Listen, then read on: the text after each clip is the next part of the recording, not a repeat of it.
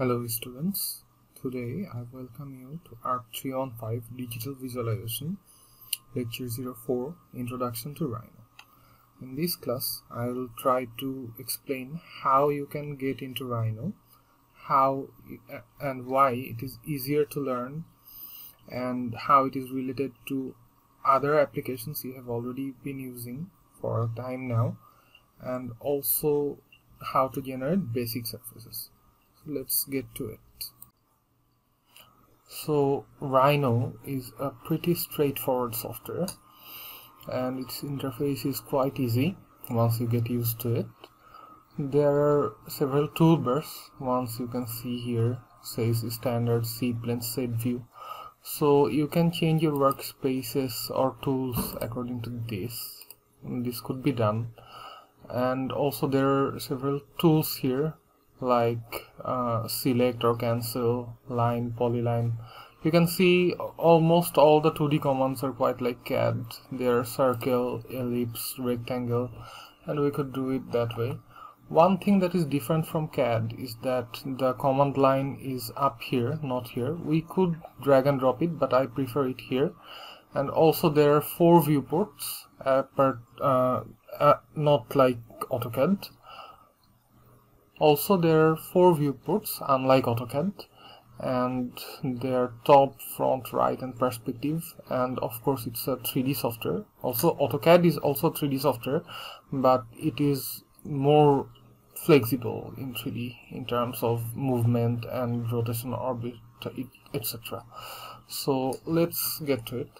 Uh, so if we want to maximize one specific viewport all we have to do is double click on the name of it. And then you can see there are uh, different tabs here. I prefer using these tabs. These are quite easy to use. Or you could double click it and make it minimized again and double click on any other one to get maximized. So this is your basic interface. And the layers are here. Layers are quite like AutoCAD. You could create a new layer here. I would go into that later. But the one specific thing that you have to do in order to get the maximized use of Rhinoceros is to change its shortcut command into AutoCAD commands. So in order to do that we have to go to options here and then go to aliases. This is the first time you have to do it. Uh, you have to do it only the first time. And for later times it would be as you have saved it. So we have to import something here. These commands are not quite like AutoCAD so let's go to our browser. Search for AutoCAD alias for Rhino. Uh, here is the wiki.mcneel.com go to this site the first site that comes and then download this. This will be downloaded somewhere. So let's save it to our folder. Let's keep ourselves organized. So arc315 uh, ACAD aliases for Rhino. Show in folder. Extract it here. And then just import that text file that we have extracted. So here ACAD alias for Rhino. 120 alias found 120 imported and then OK so here's one wonderful thing. Now all the 2D commands we use in AutoCAD most of the time are imported here. Like if we press L enter. And please note that I have already set up a shortcut command here. So whatever I press you can see here. Whatever key I press in my keyboard uh, you can see that here is the line. L enter just and also like AutoCAD if I press F8 it is ortho on. Now if I could press PL enter you could see that this happens. Also if I wanted to trim I would have just selected it TR enter and do this. Now there are certain differences from AutoCAD. Like if I wanted to trim I could not press double space. I would have to select the reference and then trim it. Also uh, for align there is no specific align command and that align there is in AutoCAD uh, that uh, scales and orients that object in a specific manner. Uh, in Rhino align is quite different. So the most common uh, command like align here is orient. So let's see what orient does.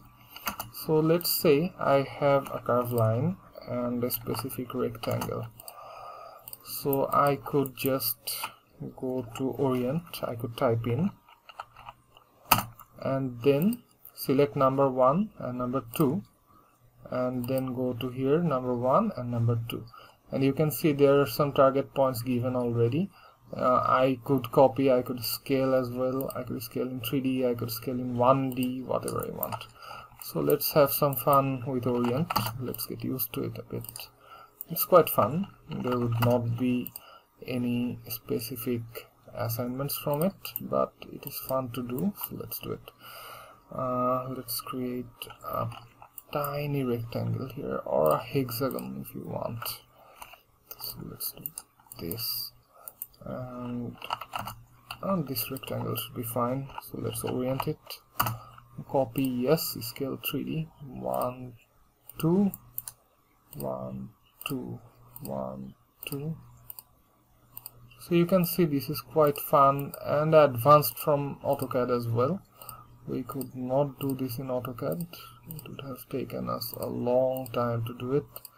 Have to array it several times but in Rhino we can have fun with this. So this is fun right? So that's one difference I could go on and on. That is fun. Also I have several uh, interesting advancement in offset as well. So if I could press O it is offset. I could type in the distance. But see there is cap and some type of tolerance here so I could put in a cap I could keep a flat cap and you can see it automatically becomes a wall a rectangle. So let's make a PL and create a complex line and then let's press O enter. And you can see that I can instantly create this type of things. So this is quite fun I'm not go into 2D commands in details all, because almost all of them are as like as AutoCAD. And as you can see in here options I can change the units of it. It's quite smart. It's not like AutoCAD where you change the unit and then you have to scale all over again. If you change specifically from millimeters by default it is millimeters and you change it into inches uh, it asks you if it would have to scale it by itself. So if you could press yes all the scale factors all the millimeters you have put in if you have uh, are converted into inches. So that is quite handy. So that is for the 2d commands of this specific softwares. I think you could have fun and if you have any questions i can answer but i don't think that would be necessary as you all are quite adept with uh, AutoCAD now, one thing that I find beautiful in Rhino is the possibilities of exploration. Rhino has uh, completely followed through the design theory we have all learned that a point moves and it becomes a line and a line moves and it becomes a surface and a surface moves and it becomes a solid and it has uh, arranged all the commands right here just like that. You can have all the curve commands right in here. You can also have it in here. There are several curves command as you can see but all the curves command are right here and right before your eyes and there are surface commands. So i no one can teach any software in four lectures but if you want to explore there are possibilities. So yes you can go through this. And you can see after curve then it becomes solid. So if you can do anything with curves you can then select that curve and go into this type of solid. And then uh, you can go into this type of surface. And then after you made a surface you can go to this solid and work with it. So yes this is quite interesting and gives immense possibilities of exploration. Now before I jump into 3D uh, I would just want to point you out some specific uh, differences in the interface from a 2D interface uh, to a 3D interface. Like I already have a perspective and if I select it this gumball comes. This is called gumball this is specific icon. And if yours is not showing here this could be uh, enabled or disabled right here. This is already given as gumball so this is quite important and we would be using it to move around or extrude our things. Like if I would want to extrude it I would just have to click on this circle here and then type in a value like this. And you can see this is already extruded. Also there are some uh, differences in layer. We could just the layering system is almost like AutoCAD but if you want to change the layer of an object the process is a little different. So say I want to change uh, this object from default layer to layer 1 just select the object and then right click upon this layer 01 and then press change object layer. So the object is changed. Also there is layer properties here. And there are some differences in snaps as well the O snap is right here I don't have to press OS to get into these settings I can change it here all the way uh, like end snap, near snap, point snap, mid center, so far and so on. But you can see there is one specific one that is already disabled here, that is project. So what does project do? Project is kind of a 2.5D snapping. So before I get into uh, creating interesting surfaces, let's see what this project does. And it would really help us making 3D spaces precise.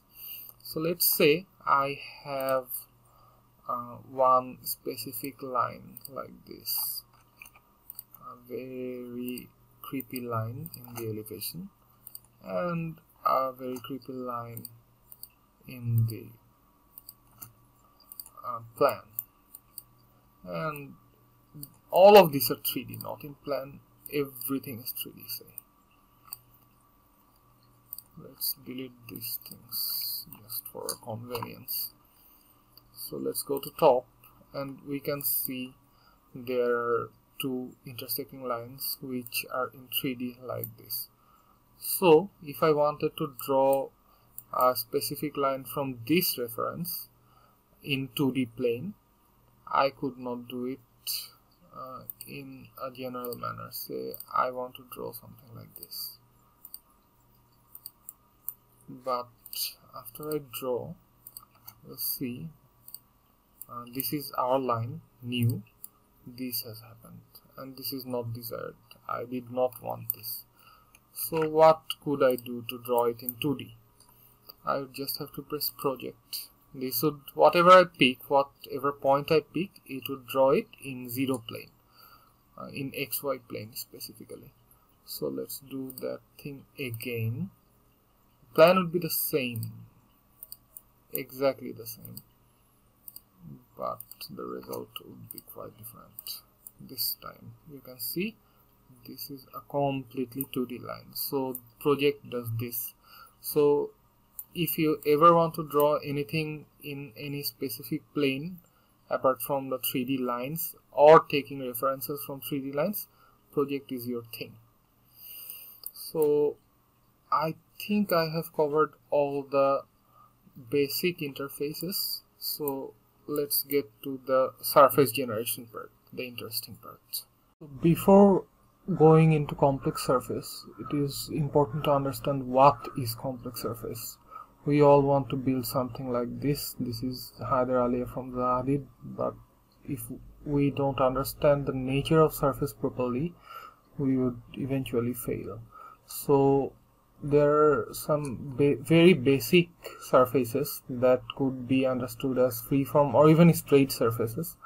And then after uh, adding subtracting or in some cases in parametric cases multiplying or dividing these surfaces we could get complex surfaces so in this lecture I would try to cover all the basic simple surfaces that are there and then in the next lecture I'll try to go into complex surfaces.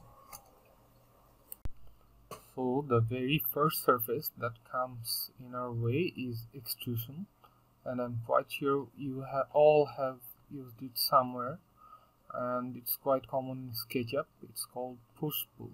So let's see how it's done in Rhino.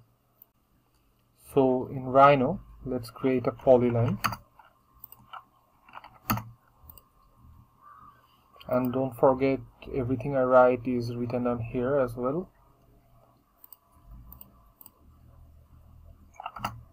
so say this is our extrude. This is the curve that we need to extrude. Let's give it a little thickness with offset. Let's keep it a cap with flat. And let's make the distance 10 or 5 yes 5 looks nice. So this is the profile that we need to extrude. There are several ways to do it, but I prefer just writing down the extrude curve and that's that. So you can see this does not look right as it's in wireframe mode. So if I want to change the mode of this viewport, I would have to go in perspective and go to shaded. You can see it's already done. Now you could face several problems while doing it. Uh, let's say you press extrude and uh, this happens. This is not solid. And you could ask why. So when you press extrude, let's do it one more time.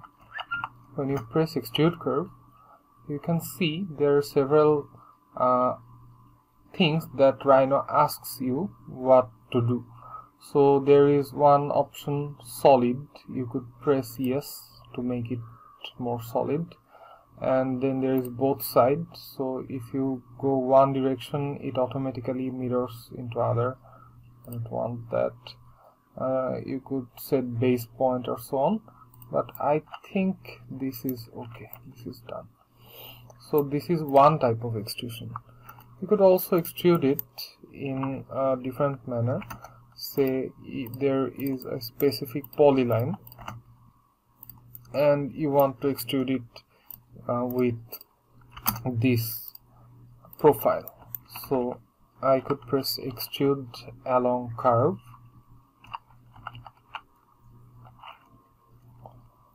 Extrude curve along curve. So it asks me to select the curves that I want to extrude. After pressing these curves I need to press space and then it asks me what the path curve will be you can see this type of geometry is automatically done. So this is quite fun. Alright and also I could play with the solid settings and so on. So this is fun. The next type of surface is also quite common. It's called sweep one rail in Rhino. And I think you are familiar with it from SketchUp by the name follow me. So let's see how it's done in order to do it we need a path rail and a cross-section curve. So let's make a path rail. Let's say we want to make a freeform seating of some sort.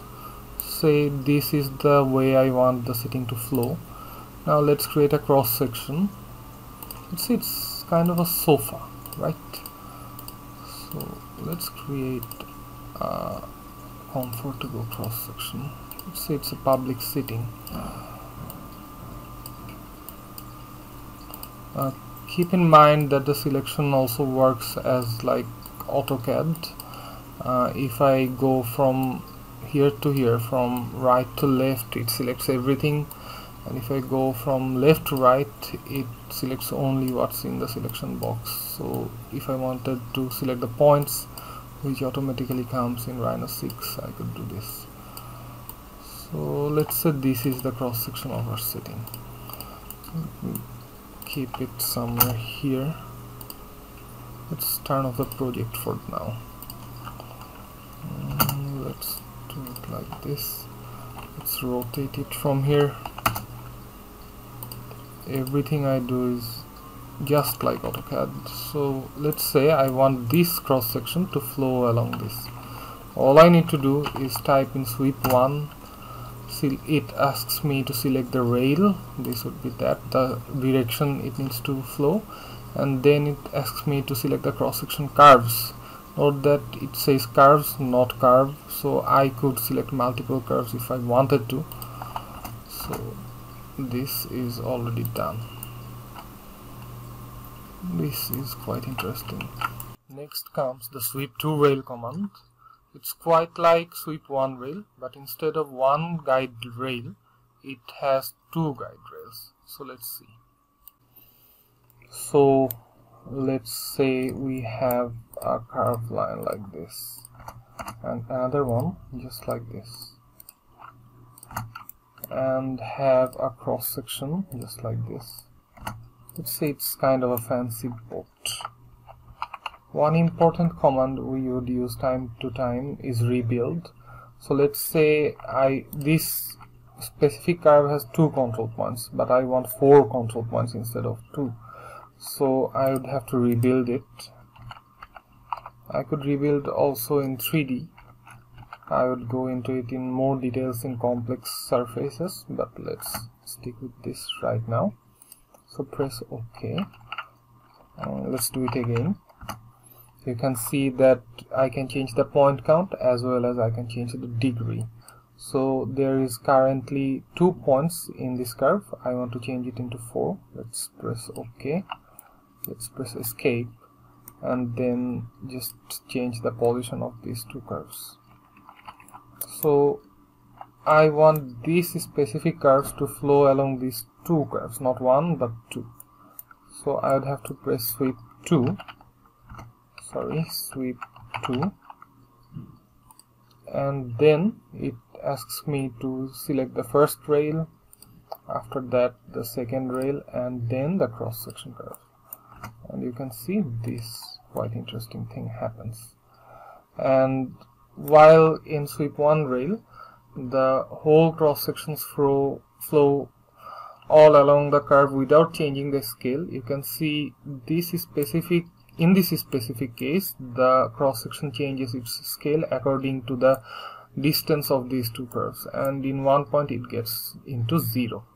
So it's quite interesting and we could generate quite uh, interesting complex curves from it as well. I'll show it in later class. After this comes surface from two three or four edged curves. It's quite self-explanatory so let's say I have different curved surfaces. Let's rebuild this.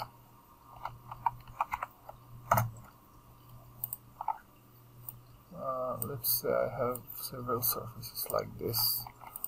Several edges like this. So let's copy it. Rotate it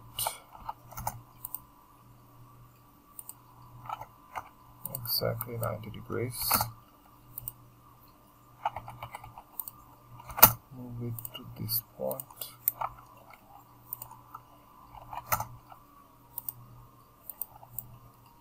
And then copy this one again here. Let's join the points otherwise this command won't work.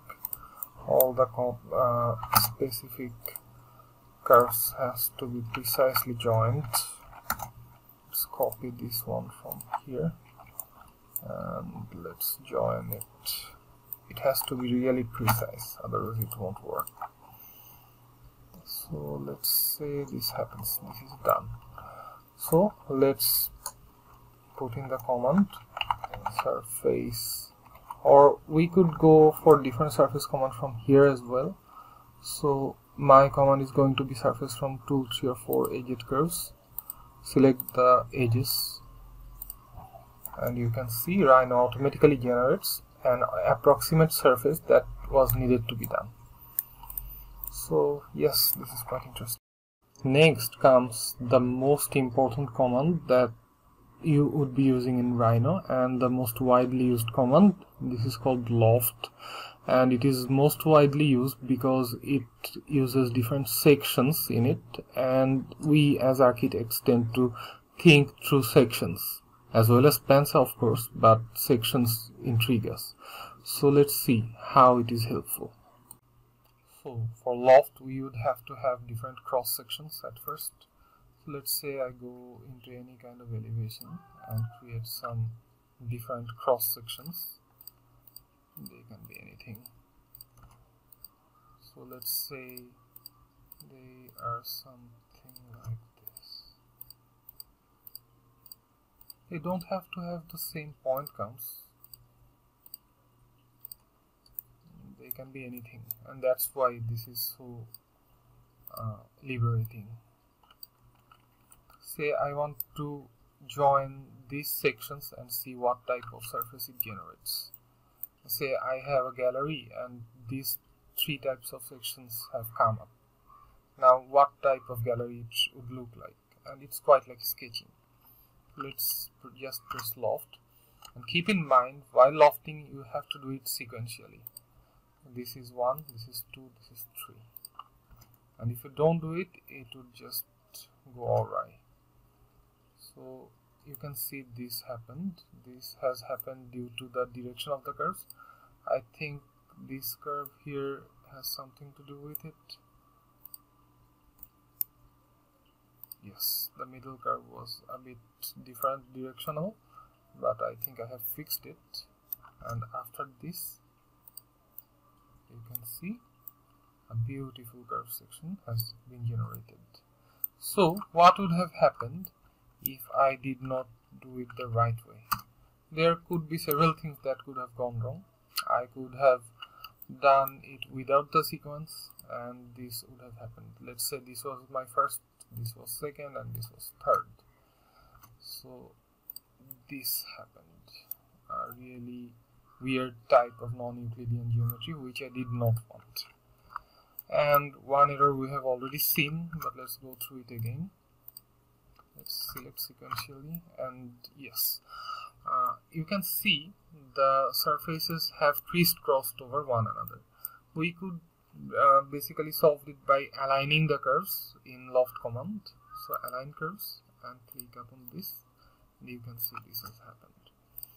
Also one thing you have to keep in mind that the curves has to have similar properties. Like if you have used one open-ended curve and one closed curves it would not have been successful. Uh, if you use different open-ended curves or open curves you have to use all the curves as open and if you use closed curves you have to use all the curves as closed. Let's see what would happen if I used open curves. Um, so let's say I have made a shade of some sort uh, basic pavilion or something like that. Nothing fancy. Say this is the cross section of my pavilion in different places and then I select it. You can see? I could do this as well. Also I could do this and you can see I could make it a closed loft.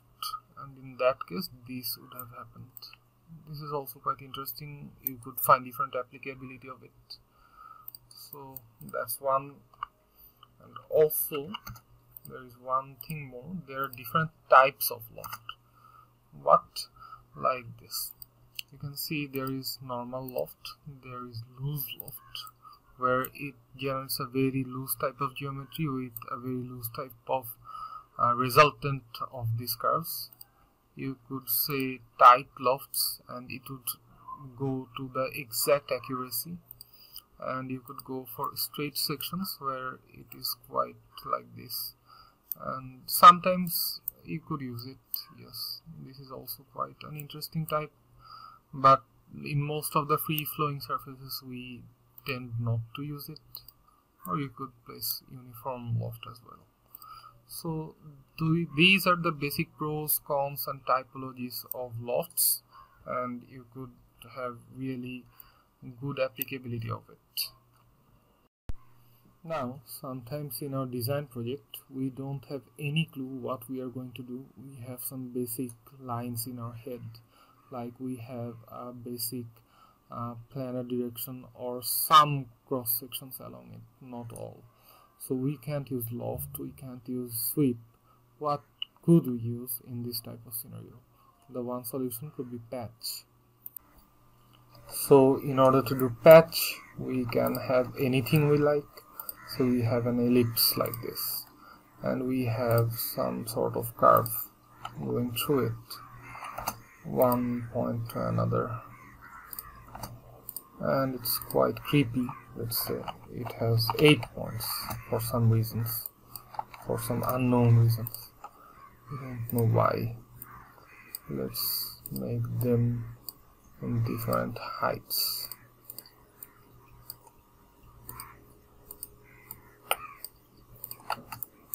I don't know how it's going to look like and it might fail. Sometimes it does. It's part of life have to bear with it. Let's say this is one cross section and this is the plan. So what could we do? Just select all of them and type in patch. And we could go for a preview. And yes these have been generated. And this is fun. I could go somewhere with it. This could be a roof of some sort. This could be a shelter of some sort. I don't know but this is interesting and this gives me liberation to do whatever I want. This gives me freedom of thought. I don't have to think like the computer. The computer solves my problem and thinks like me. In the end let's finish this lecture with an interesting type of surface. Let's say I have an image data and I want to generate heights from it. It would be called height field from images and let's see how to do it.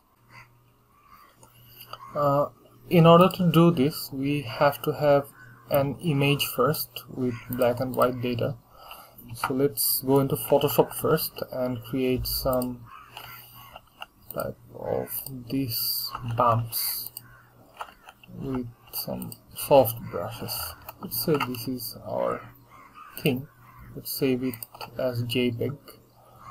And we will have to show it here let's name it height field okay. And then let's go to Rhino. Yeah, we could type in height field from images or we could do this. Let's show it where it is. And we could just uh, click and drag and then we could for more precision we have to put in more points. Let's say I want it 50 by 50 and let's say I want height as 10 120 inches. Let's see what happens. So you can see this one represents the Photoshop file I just created and created height from it. The black went into depth. Exact blacks are in 0 and the 100% whites are in 10 feet. So I could do it again let's keep this mode rendered and do it again. Mm, just for our own understanding. And I could set image as texture. And let's put it a bit lesser now. Let's say it's 36 inches. You can see the blacks are like that and the whites are like that. So yes this is something we could do to make our contours. If we had contour data from any type of GIS files we could just create it from here. So with this this lecture has come to an end. It has been a long lecture but I think it would be useful if we go through it uh, more than once and find different problems. We could discuss it and always feel free to ask me anything and feel free to google anything you like. So enjoy rhino. I hope this would be a life-changing software for you